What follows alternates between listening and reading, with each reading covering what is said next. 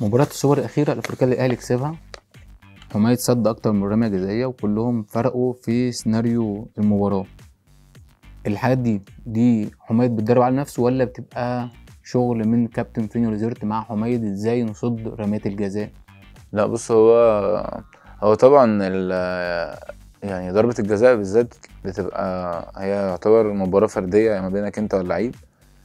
آه، هي الفكرة كلها في التوقيت. يعني أنت إن أنت يبقى عندك هدوء أعصاب إن أنت تقدر تفكر هو ممكن يعمل إيه دلوقتي أو تقدر تفصل عن أي حاجة وتركز على الكورة بس وتركز على إيد اللعيب والحاجات دي دي أكيد في التمرين بنتمرن عليها مع فيني بس هي برضو أنت لازم تبقى متفرج على اللعيب تبقى عارف إن هو لو في وقت حاسم يشوط الكورة فين لو في وقت عادي في الماتش ممكن يشوطها إزاي.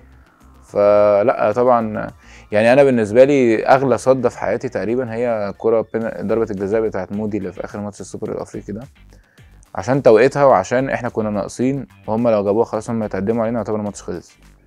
فأنا يعني زي ما تقول كده يعني كل تحويشة خبراتي حطيتها في الكرة دي. هو كان شاط كرة قبليها ضربة جزاء فيا شاطها بين رجلي و وما جاش في دماغي خالص ساعتها انه يشوطها بين رجلي. وبعد كده وأنا نازل ضربة الجزاء الأخيرة فكرت إن هو ممكن يقول هو مش إن أنا مش هاجي في دماغي إن هو يشوطها مرتين بين رجلي ويضمنها بقى إن هو جابها كده فيشوطها تاني عشان الوقت وعشان خلاص فاضل دقيقة ونص كده فبس فالحمد لله قدرت إن أنا يعني قدرت إن أنا برضه أفكر نفس التفكير اللي في دماغه وأقفل رجلي.